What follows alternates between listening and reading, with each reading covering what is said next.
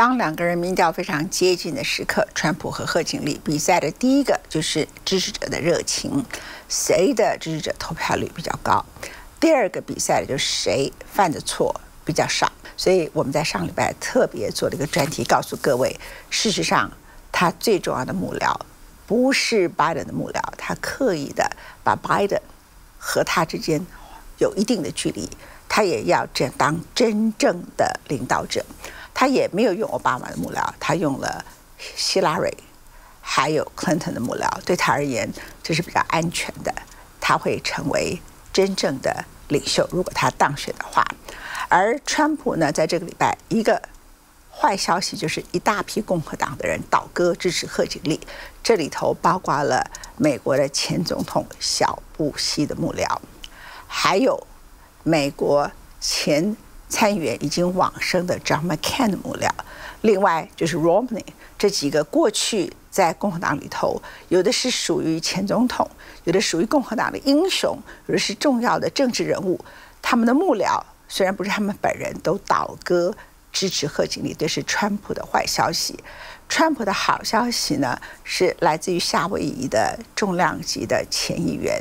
加巴德他公开支持川普，他支持川普的原因不是因为他支持川普破坏民主宪政，也不是堕胎权的问题，而是他认为他在夏威夷那个地点，作为一个美国很重要的主要的军事基地的夏威夷，他反对美国不断的介入战争，所以他希望美国变成一个不对国际干预的。一个大国，这样美国的经济跟未来才有它的可能性。而且他也不认为美国过去的国际的干预是完全正确的。所以这件事情在外交政策里头，他支持的是川普，而不是拜登现在介入很多国际军事。虽然没没有派美国的军人出去，但仍然进行了相当多的国际干预。他认为他支持的是川普的国际不干预。主义，而且他希望通过这个不干预主义，让美国的国债可以下降，让美国的预算赤字下降，然后让美国的经济被变成施政主要的一个重点。而另外呢，一个很重要的人是小布希时代的副总统，叫 Cheney，他的女儿叫 Liz Cheney，他曾经是共和党第三号人物，由于跟川普不和，而且他跟川普反对了很多不同的意见，在那个时候川普执政的时刻，他和共和党。完全是属于分离的状况。到目前为止，他没有表态支持贺锦丽。人们说，他一个可能性是等到最后才支持贺锦丽，或者是他等待川普落选。他认为川普落选的几率很高，在这个时刻，他可以恢复共和党过去。该有的共和党的面貌，重组共和党。目前为止，我刚刚提到双方差距这么小的情形里头，就是看谁犯的错比较多。贺锦丽呢，虽然她在接受访问的时候，人们一些人认为她真的没有深入思考跟领导国家的能力。但是他犯的错没有川普多，因为川普呢不断的用粗鲁的言论一直在攻击贺锦丽，在他的 social media，在他可以发表言论的一些造势的公开场合，他正在流失相当多的郊区的女性的选票。当民主、共和两党嘉年华式的全代会提名，各自在高潮中画下句点。一场史上最不可测的总统大选正式进入最后阶段。Well, thank you. Former President Donald Trump campaigning in battleground Michigan, addressing an annual meeting of the National Guard Association as he seeks a second term as commander in chief. And it's why I'm here today because America's future is under threat Like never before, right at this moment. 谁也没想到，川普下出民调和募款领先的优势，会在短短五周内全数抹去。他虽然在暗杀事件中幸存，对手拜登却意外放弃连任。一个曾在他眼中不是对手的副手贺锦丽，还从接棒登板开始一路好球，甚至带领民主党反手围攻。于是这星期，川普从威斯康星、密西根开拔到宾州。试图把四年前拜登抢走的蓝墙翻红，贺锦丽则是从亲川普的乔治亚州出发，搭乘大巴狂扫黑人为主的农村郊区，开拓两百七十张选举人团票的新路径。This is going to be a tight race until the very end. Okay, so let's not pay too much attention to the polls.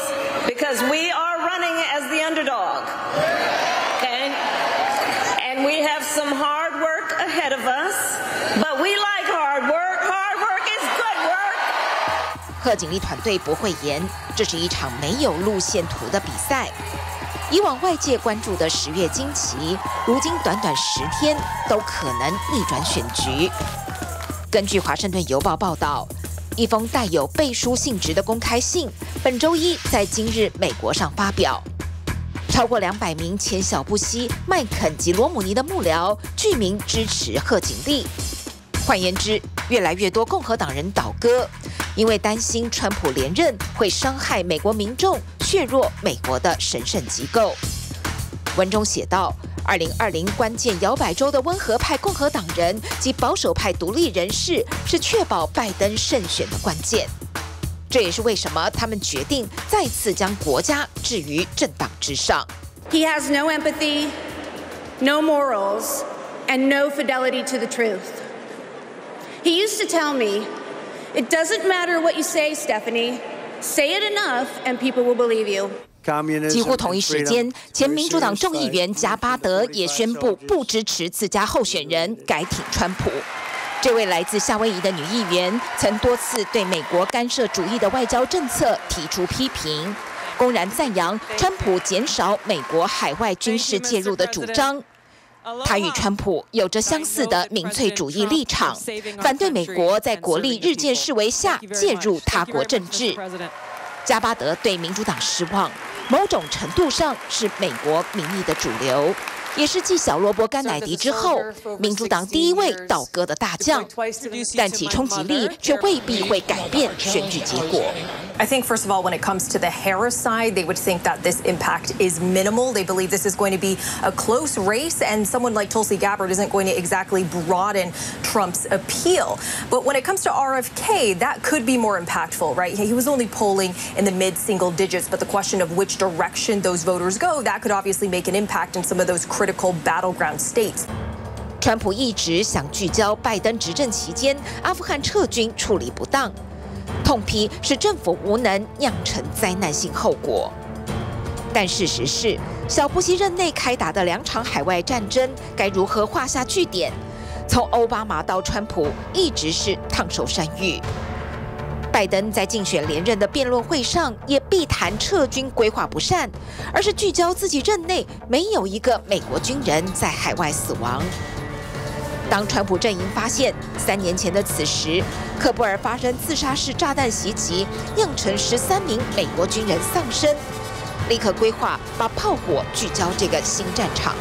Kamala Harris, Joe Biden, the humiliation in Afghanistan set off. The collapse of American credibility and respect all around the world. Present. Oh. 这原是他前往阿灵顿国家公墓献花致敬的原因，却没想到幕僚与公墓管理人员意外发生言语及肢体冲突，迫使军方罕见发布措辞强硬的声明，强调阿灵顿国家公墓从来不允许拍摄影片或照片。更不会授权任何人出于党派政治或募款目的进行拍摄。英国《卫报》日前撰文提问：“川普，你还好吧？”因为近期他对贺锦丽崛起的疯狂反应，也引发支持者担忧。向来倾向共和党的福斯新闻发布民调，发现贺锦丽在拜登陷入困境的阳光带已翻转险胜，更让川普怒不可遏。